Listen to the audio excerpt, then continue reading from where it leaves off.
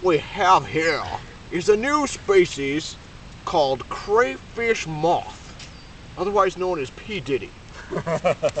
Look how it runs over. Runs right over the stick.